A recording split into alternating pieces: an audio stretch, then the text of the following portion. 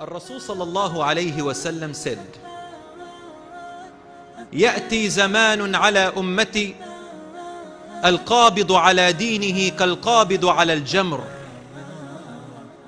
There shall come a time among my ummah where the person who is grasping onto his religion is like a person grasping onto a coal from fire. This hadith is in Muslim. When you hold on to a coal of fire, is that easy or hard? It's hard. Does it burn? It burns. But you're holding on to it. Why would a person hold on to a coal of fire and burn? There's only one reason.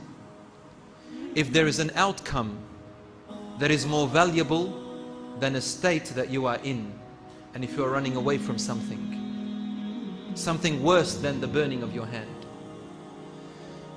We have so many trials, fitna, coming from every corner, especially to our youth. And the youth today, if they are grasping onto their deen, it's like a person grasping onto a coal from fire. Al-Rasul ﷺ went to further extents to describe this moment and he said, زمان فتن كقطع من الليل مظلما There will be fitan, trials and temptations. They will be so subtle. They will be so dark. Like the dark clouds in a moonless night. You don't even know them and they're hitting you. It's like in the darkness. If you go outside now, it's very dark. You cannot count how many clouds there are in the sky. The fitan, the trials, the temptations that will be approaching us in this century that we are in are like the moonless night and you cannot count the clouds. They are hitting you. يصبح الرجل مؤمنا ويمسي كافرا In the morning, they are believers. And by the night, they have become disbelievers. In the night, they are believers.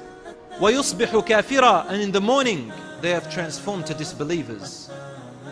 باعوا دينهم بعرض من الدنيا They would have sold their deen for luxuries of this life. And how true this statement from the Prophet ﷺ is as if he is living among us today and watching us.